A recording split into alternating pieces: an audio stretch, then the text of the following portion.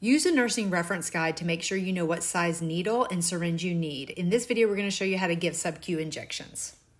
Insulin syringes are in orange top syringes. You have to read the packaging. This is a half a milliliter 31 gauge, very small needle. And if you need more than 50 units of insulin, because this only comes in 50 units, which is a 0.5 milliliters, you're going to need a bigger syringe. And they do come in one milliliter.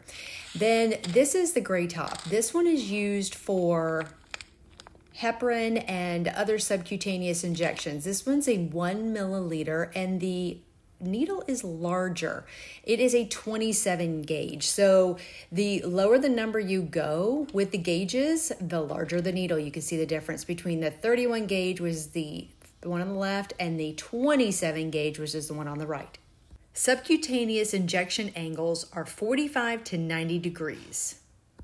If you have a large enough needle, you can go at a 90 degree or a 45 degree based on your patient size. You pinch the skin. I'm going at a 45 degree angle with this subcutaneous injection because my needle is a little longer, and then I engage the safety.